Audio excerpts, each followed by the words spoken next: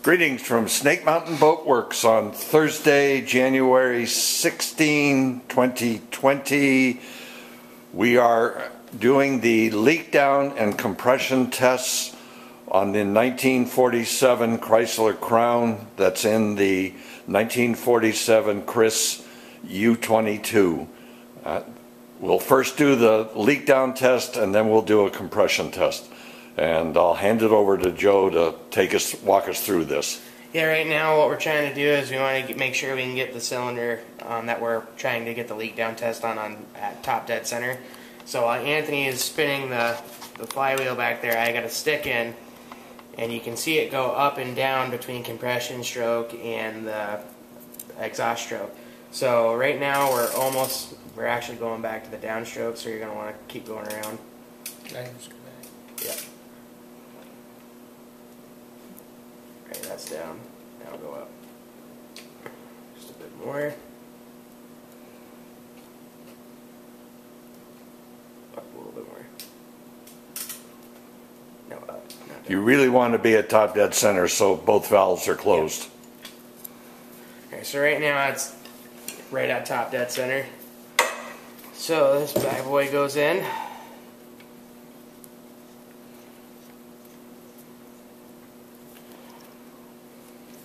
And just gotta get the air going here.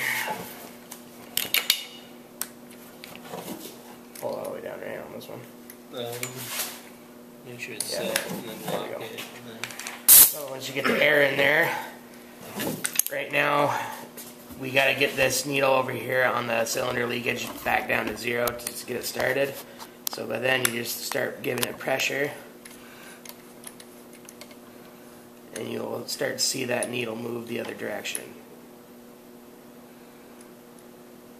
It's really important. You want to try to get it right at or right at zero to give you an accurate reading.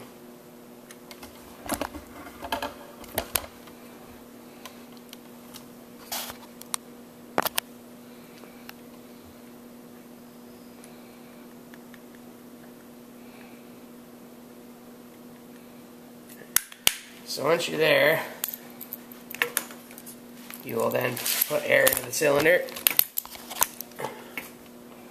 And right now that's reading right around 95% leakage on this cylinder. So we know that that cylinder, either there are valve bleed by issues, the rings are bad. Um, that cylinder is toast, basically. Uh, we're, we're not going to take you through doing all six cylinders one at a time. This is the worst one. Anthony, can you hear any? Um, you can hear a little bit, but we might just be a teeny bit off from where it's completely closed off in there, because I can't hear it from there. So if I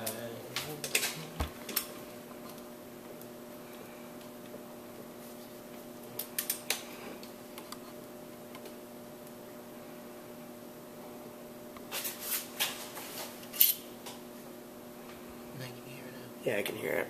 Yeah. It's really faint, but you can actually hear air coming through the bottom of the oil pan through the oil reservoir. So we've done all six cylinders. This one's the worst, but they were all at least 75%. Is that? Read anywhere from between 75 and 85. Well, now we can, we can pivot over and do a compression test. Let's start right here. So, We'll start with cylinder number one.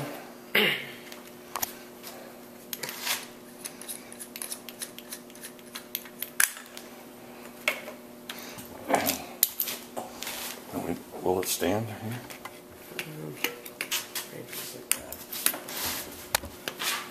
so I rigged up a starter box. Um, it's pretty simple. That way, when we get an engine in working order, we have a starting switch, temp gauge, and oil pressure. Right now, I just got it set up to the starter so we can see it crank over and see what we can get for compression.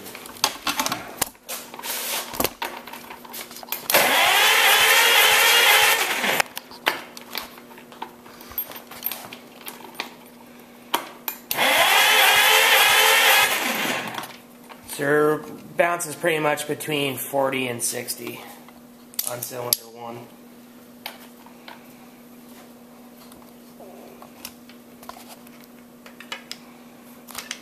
We'd like to be up around 90 and within a couple of psi of 90 for all six cylinders. Cylinder two.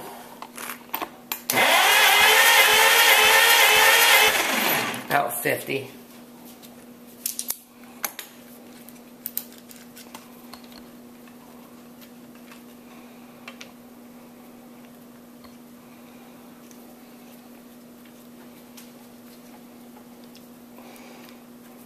For the sake of this test, we, we're running fairly light ignition wire, which is uh, causing them to warm up some.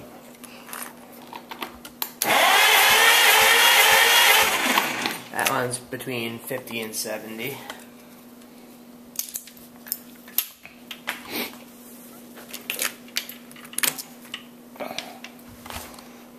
Oh, you're not going to be able to see that though. I can move around.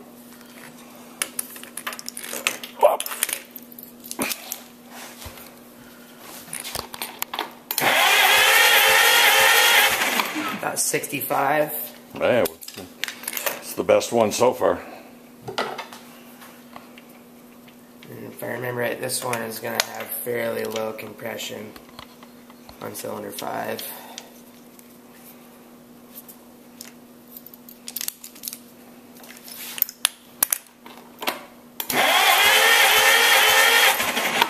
Uh, it looked like right around 55.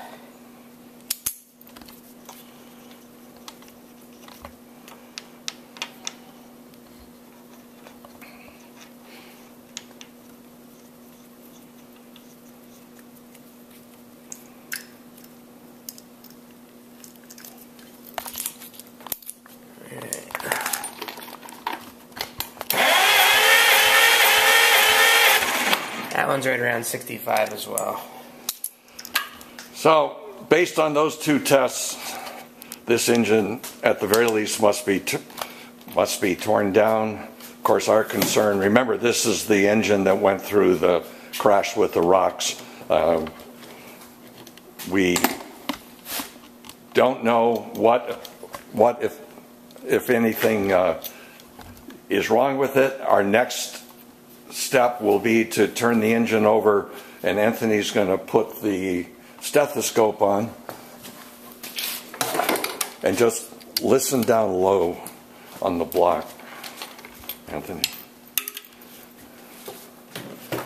See if you hear any odd sounds.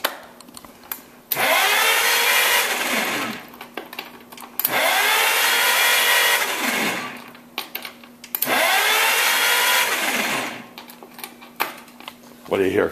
I don't hear anything that's out of ordinary. All right. So, um, Well, Robert Henkel in Marine City, Michigan, Chris Craft Parts, uh, Peter Henkel Incorporated uh, will be receiving uh, this engine in a couple of weeks. Uh, we've got a crate for it, so we'll load her into the crate and tie her down and coordinate with Robert um, and have him tear this engine down, and he will give us a report as to what it needs. My guess is it's time for a, complete rebuild from top to bottom, all the way through.